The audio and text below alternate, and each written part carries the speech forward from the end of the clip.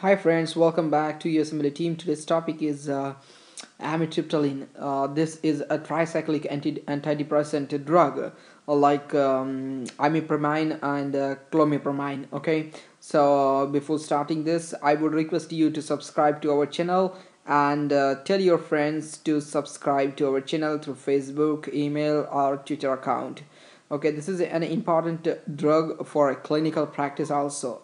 So just spend some time with me and definitely i'm sure you will go out with some information and uh, you will do, you will do best in your coming examination.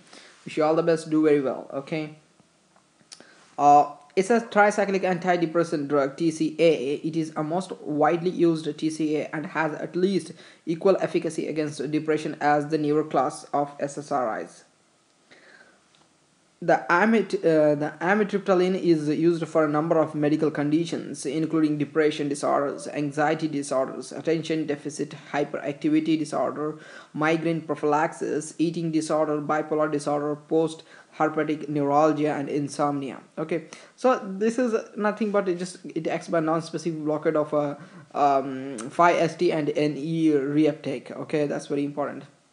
Norepinephrine and uh, serotonin okay reuptake uh, amitriptyline is used in ankylosing spondylitis for pain relief. It is also used as a preventive for uh, patients with uh, a recurring biliary dyskinesia sphincter of Oddi dysfunction.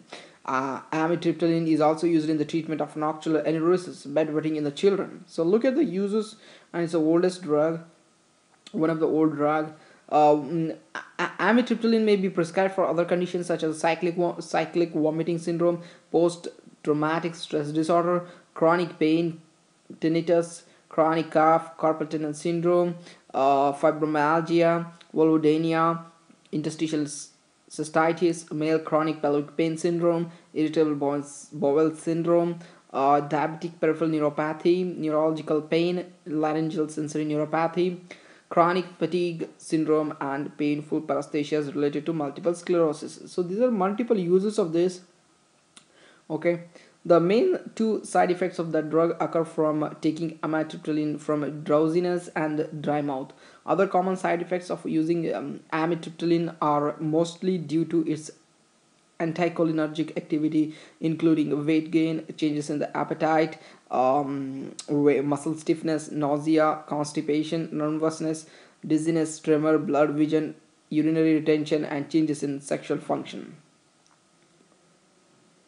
Some rare side effects include seizures tinnitus hypotension mania psychosis sleep paralysis uh, hypnagogic or hypnopompic hallucinations related to sleep paralysis, heart block, dysarrhythmia, arrhythmias, lip and mouth ulcers, extrapyramidal symptoms, depression, tingling pain or numbness in the feet or hands, yellowing of the skin, eyes, pain or difficulty passing urine, confusion, abnormal production of milk in the females, breast enlargement in both males and the females, uh, fever with increased sweating and suicidal thoughts.